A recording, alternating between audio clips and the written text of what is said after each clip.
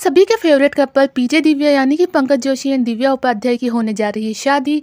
तो मैं लेकर आई हूँ आपके लिए स्पेशल पीजे दिव्या की शादी की स्पेशल मोमेंट्स की कुछ फ़ोटोज़ और साथ में मैं ये भी बताऊँगी कि कौन कौन इन्फ्लुएंसर इनकी शादी में आया और कौन कौन नहीं आया। तो वीडियो देखते रहिए। जैसा कि आप लोगों को पता ही है कि अप्रैल 2022 में पीजे दिव्या ने एंगेजमेंट की थी एंड अब लगभग दो साल के बाद शादी हो रही है इनकी। एंड यहाँ मैं आपको बता दूँगी इनकी शादी इंदौर में ही हो रही है। परसों इनकी हल्दी का फ़ंक्शन हुआ। जिसकी की कुछ फ़ोटोज़ आप लोग स्क्रीन पर देख सकते हैं। हल्दी में इन्होंने खूब इंजॉय किया, मस्ती की।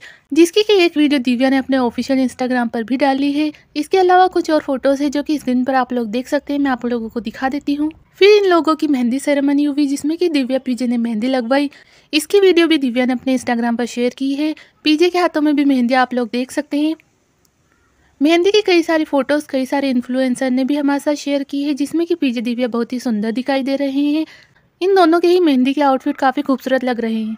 साथ में ही संगीत नाइट्स में दोनों यानी कि पीजे दिव्या डांस करते हुए भी हमें दिखाई दिए। यहाँ कुछ फ़ोटो शेयर की है ब्यूटी खान ने, सोना डे ने सोफिया ने, और भी कई सारे सेलिब्रिटी हमें संगीत सेरेमनी में दिखाई दिए।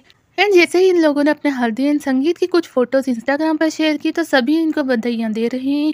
तो अगर आप लोग भी इनके फैंस हैं तो कमेंट में इन दोनों को कॉन्ग्रेचुलेशन कहना ना भूलें। और अगर ये वीडियो अच्छी लगी हो तो वीडियो को लाइक कर देना चैनल को सब्सक्राइब कर देना। सबसे पहले अपडेट जानने के लिए तो मैं मिलती हूँ आपसे ऐसी ही नई अपडेट के साथ। बाय